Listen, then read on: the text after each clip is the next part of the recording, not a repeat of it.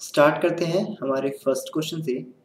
निम्न में से कौन सा सागर यूरोप को अफ्रीका से अलग करता है? तो हमारे पास चार ऑप्शन दिए हुए हैं। फ़र्स्ट है काला सागर, सेकंड है लाल सागर, थर्ड है अरब सागर और फोर्थ है भूमध्य सागर। तो यूरोप को अफ्रीका से जो अलग करता है वो है भूमध्य सागर। इसके अलावा काला सागर, इसका सेकंड नेम है कृष्ण सागर। एग्ज़ाम में पूछ लिया जाता है कि काला सागर का जो अदर नेम है, वो क्या है? तो इसे कृष्ण सागर भी कहते हैं। ये एक महाद्वीपीय समुद्र है, जो दक्षिणी पूर्वी यूरोप और तुर्की से घिरा हुआ है। सेकंड की बात करें, लाल सागर। तो ये अफ्रीका एवं एशिया के बीच एक नमकीन पानी की खाड़ी है। नेक्स्ट क्वेश्चन की ओर चलते हैं। हमारा नेक्स्ट क्वेश्चन आता है, अंतरराष्ट्रीय ओजोन दिवस कब मनाया जाता है? हमारे पास चार ऑप्शन है। फ़र्स्ट है, सात दिसंबर को। सेकंड दिया है, सोलह सितंबर। थर्ड है, तीस मार्च। और फोर्थ है, बाईस अप्रैल। तो इसमें करेक्ट आंसर हो जाएगा, ओजोन दिवस है जो हर साल 16 सितंबर को मनाया जाता है। इसके अलावा बाकी ऑप्शन की बात करें तो फ़र्स्ट दिया है सात दिसंबर। तो सात दिसंबर को सशस्त्र सेना झंडा दिवस मनाया जाता है। यहाँ पे लिख देता हूँ, सशस्त्र सेना झंडा दिवस। इसके अलावा 30 मार्च की बात करें तो 30 मार्च को होता है राजस्थान स्थापना दिवस।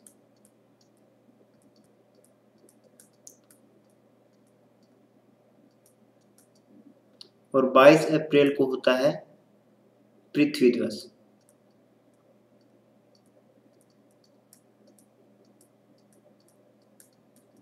तो इस क्वेश्चन का करेक्ट आंसर हो जाएगा अंतरराष्ट्रीय ओजोन दिवस कब मनाया जाता है? 16 सितंबर को। नेक्स्ट क्वेश्चन की ओर चलते हैं। हमारा नेक्स्ट क्वेश्चन आता है, किसी खाद्य श्रृंखला में शाकाहारी होते हैं? तो आपको बताना है, चार जो श्रृंखला दी हुई है, इनमें से शाकाहारी किस खाद्य श्रृंखला में आते हैं? तो फ़र्स्ट दिया है प्राथमिक उपभोक्ता सेकंड दिया है प्राथमिक उत्पादक। थर्ड हमारे पास है द्वितीय उपभोक्ता और थर्ड है अवघटन करता तो जो शाकाहारी होते हैं, वो आते हैं प्राथमिक उपभोक्ता के अंदर।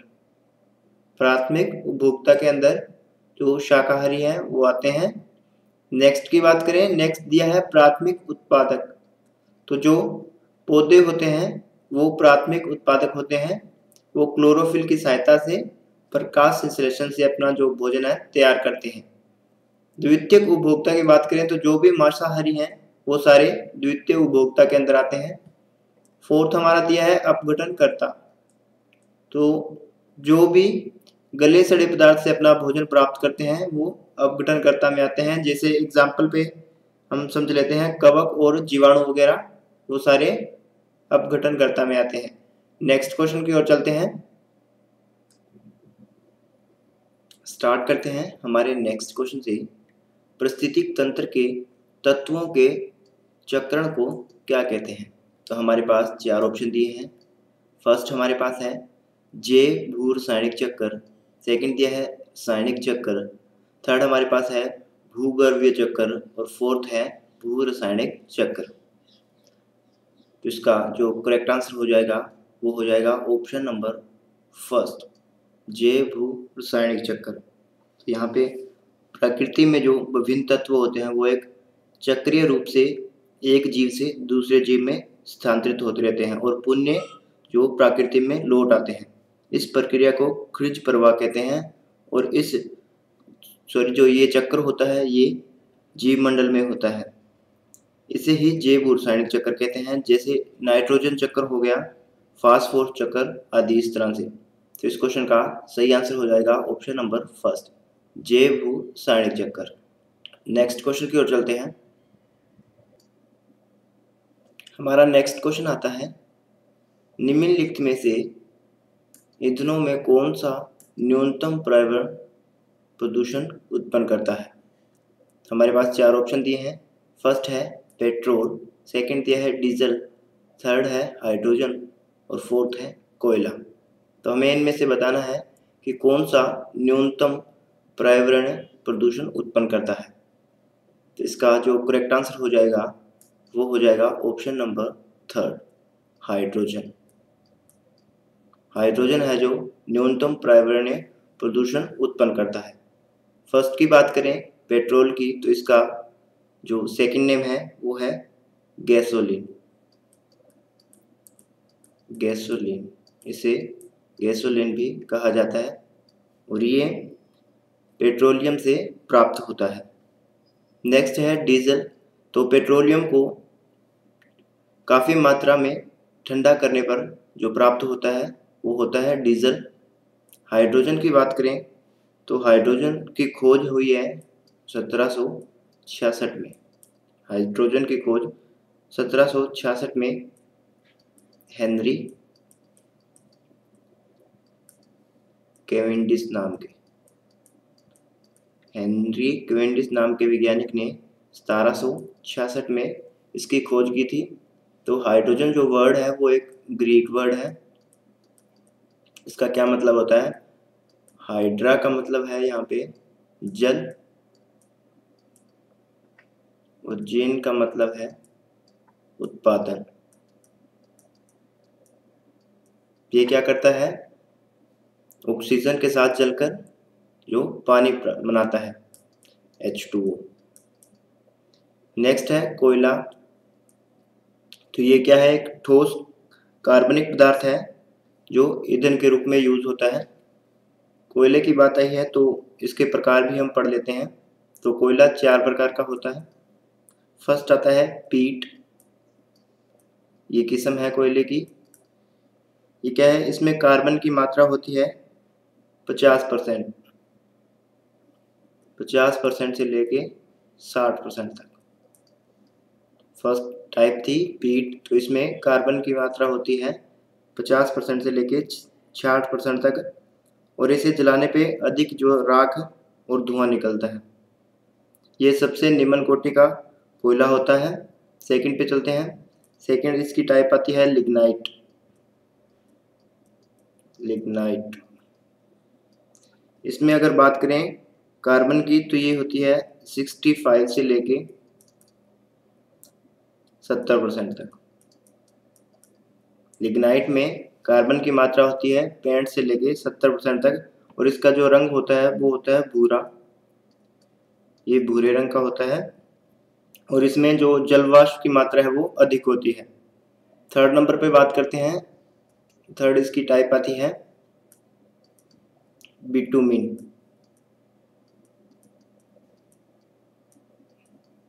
बिटूमिन्स जो टाइप है इसकी, इसमें क्या होता है? जो कार्बन की मात्रा होती है, वो होती है सत्तर से लेके पचासी परसेंट तक। और ये काफ़ी मुलायम होता है। इसका उपयोग घरेलू कार्य में होता है। लास्ट आता है फोर्थ नंबर पे। यहाँ पे लिख देता हूँ। फोर्थ नंबर पे आता है एंथ्रासाइट एंथ्रासाइट एंथ्रासाइट है, इसमें क्या है? कोयले की जो सॉरी कार्बन की मात्रा होती है, वो होती है 85 से ज़्यादा। और ये सबसे उत्तम किस्म मानी जाती है कोयले की। फिर से रिपीट कर देते हैं। फ़र्स्ट हमने पढ़ा था पीट जिसमें कार्बन की मात्रा होती है 50 से 60 परसेंट तक। सेकंड पे आया था लिग्नाइट इसमें पेंट से लेके 70 परसेंट तक, और इसका कलर होता है भूरे रंग का। थर्ड था बिटूमिन्स इसमें क्या है कार्बन की मात्रा होती है 70 से लेके पचासी परसेंट तक। और फोर्थ हमारा था एंथ्रासाइड इसमें जो कोई कार्बन की मात्रा होती है पचासी परसेंट से अधिक, और ये सबसे उत्तम क्वालिटी का कोयला माना जाता है, और ये सबसे निम्न क्वालिटी का। पीठ है जो सबसे निम्न क्वालिटी का। कोयला माना जाता है और सबसे उत्तम क्वालिटी का है एंथ्रासाइड नेक्स्ट क्वेश्चन की ओर चलते हैं। नेक्स्ट क्वेश्चन की ओर चलते हैं। हमारा नेक्स्ट क्वेश्चन आता है संकट प्रस्त जंतु दैत्याकार पांडा पाया जाता है। तो आपको बताना है ये कहाँ पाया जाता है। चार ऑप्शन दिए हैं। फ़र्स्ट है भारत में सेकंड दिया है ऑस्ट्रेलिया में थर्ड हमारे पास है चीन में और फोर्थ है ब्राज़ील में। तो संकट प्रस्त जंतु दैत्यकार पांडा है जो ये पाया जाता है चीन के अंदर। चीन के अंदर कहाँ? ये पांडा चीन के अंदर जो बाँस के जंगल बने होते हैं, वहाँ पे पाया जाता है, वहाँ पे रहता है और हिमालय की जो पर्वत की जो ढलानें होती हैं, इस तरह से जैसे मैं बना देता हूँ, ढलानों पे यहाँ पे दरखत होते हैं तो इनके ऊपर ये पाया जाता है। चीन में इसको कहते हैं जुयांग माओ। जुयांग माओ। इस नाम से भी जाना जाता है इन्हें, या फिर इसे विशालकाय बिल्ली या भालू भी कहा जाता है। अब इनको डब्ल्यू डब्ल्यू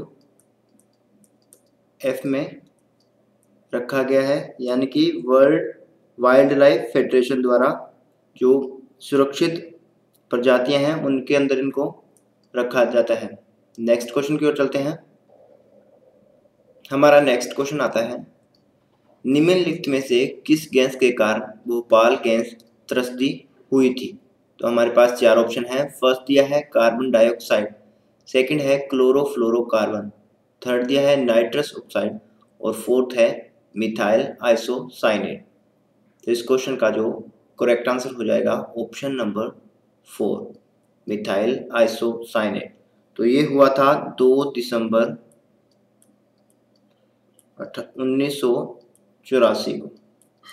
भोपाल की एक यूनियन कार्बाइड फैक्ट्री थी, उसके अंदर क्या है, इस मिथाइल आइसोसाइनेट गैस का रिसाव हो गया था, जिसके कारण काफ़ी लोगों की मौत हो गई थी। इसके अलावा बाकी ऑप्शन की बात करें तो फ़र्स्ट है कार्बन डाइऑक्साइड तो ये क्या है, ये एक रंगहीन तथा गंधहीन गैस है, और जो पृथ्वी में जीवन के लिए सबसे आवश्यक है।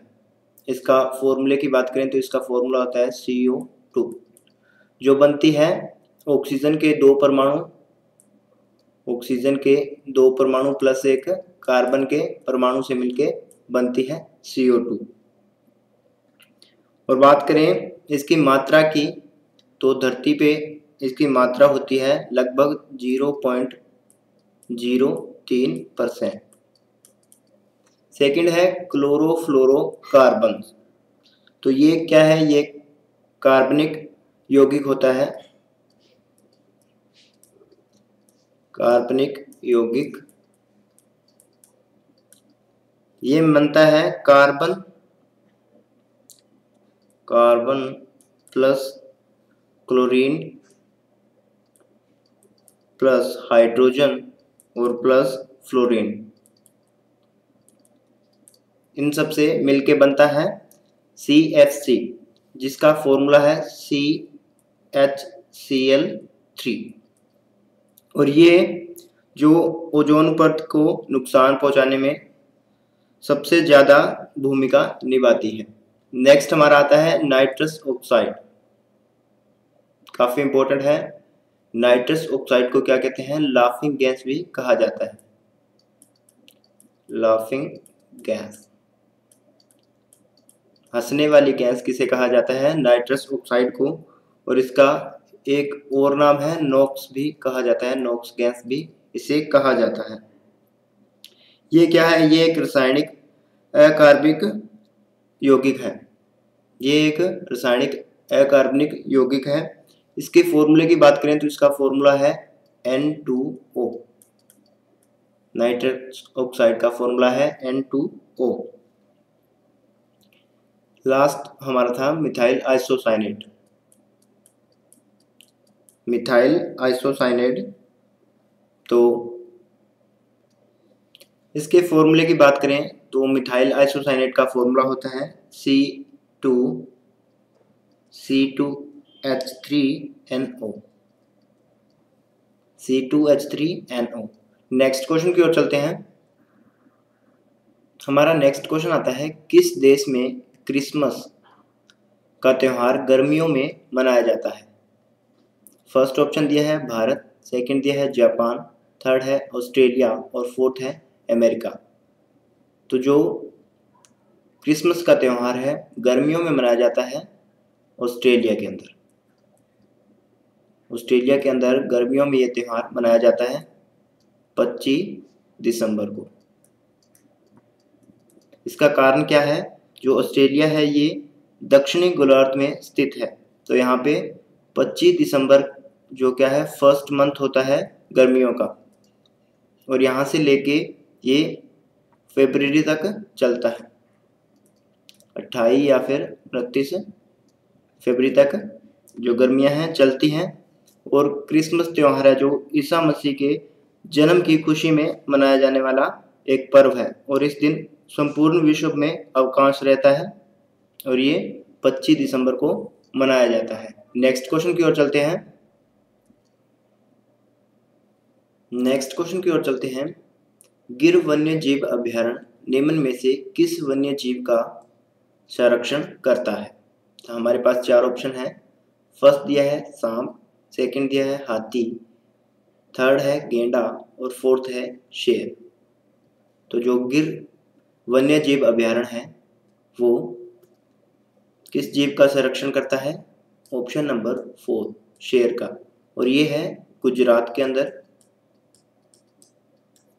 गुजरात में है गिर नेशनल पार्क और गुजरात की राजधानी है गांधीनगर। इसके अलावा ऑप्शन नंबर थर्ड की बात करें, गेंडा तो एक अभ्यारण्य है Kaziranga national park. Kaziranga national park. तो ये पूरी दुनिया में मशहूर है एक सिंग वाले गेंडे के लिए।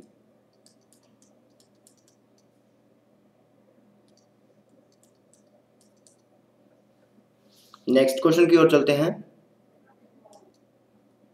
नेक्स्ट क्वेश्चन की ओर चलते हैं। निम्न में से कौन सी प्राकृतिक वनस्पति मारुस्थलीय प्रदेशों में पाई जाती है। फ़र्स्ट ऑप्शन है केक्टस सेकंड दिया है, महोगनी थर्ड है फर, और फोर्थ है चंदन। तो इस क्वेश्चन का करेक्ट आंसर हो जाएगा option number first cactus cactus है जो ये वनस्पति मारुस्थलीय प्रदेशों में पाई जाती है। नेक्स्ट क्वेश्चन की ओर चलते हैं। हमारा नेक्स्ट क्वेश्चन आता है ग्रीन मफलर संबंधित है। तो चार ऑप्शन है, हमारे पास फ़र्स्ट दिया है वायु प्रदूषण से सेकंड दिया है मुद्रा प्रदूषण से थर्ड हमारे पास है ध्वनि प्रदूषण से और फोर्थ है जल प्रदूषण से। तो ग्रीन मफलर संबंधित है ध्वनि प्रदूषण से। ऑप्शन नंबर थर्ड हमारा करेक्ट हो जाएगा। अब ग्रीन मफलर क्या है? तो ये एक टेक्निक है, जिसमें हम क्या करते हैं? इस तरह से चार या पाँच पंक्तियों में वृक्ष रोपण करते हैं। ये वृक्ष क्या काम करते हैं? ये ध्वनि को फ़िल्टर करते हैं। जहाँ पे ध्वनि ज़्यादा होती है, जैसे सड़कों के किनारे, औद्योगिक क्षेत्रों के किनारे या फिर राजमार्गों के किनारे, इस तरह से चार या छः पंक्तियाँ बना के उसके अंदर वृक्षरोपण करते हैं। और इसी टेक्निक को हम कहते हैं ग्रीन मफलर नेक्स्ट क्वेश्चन की ओर चलते हैं। हमारे आज के लास्ट क्वेश्चन की ओर चलते हैं। भू परिस्थितिकी तंत्र में ऊर्जा का महत्वपूर्ण स्रोत कौन सा है? हमारे पास चार ऑप्शन है। फ़र्स्ट दिया है पृथ्वी सेकंड दिया है सूर्य थर्ड है चंद्रमा और फोर्थ है शुक्र। तो फ्रेंड ये क्वेश्चन आपके लिए है। इसका आंसर आप कमेंट करेंगे। अगर आपको वीडियो अच्छी लगी है तो वीडियो को लाइक करें और ज़्यादा से ज़्यादा शेयर करें। अगर आप हमारे चैनल पर नए हों तो चैनल को सब्सक्राइब करें। और पास लगे बेल आइकन को ज़रूर दबाएँ, ताकि हमारी वीडियो की नोटिफिकेशन आप तक पहुँच सके। मिलते हैं नेक्स्ट वीडियो में, तब तक के लिए टेक केयर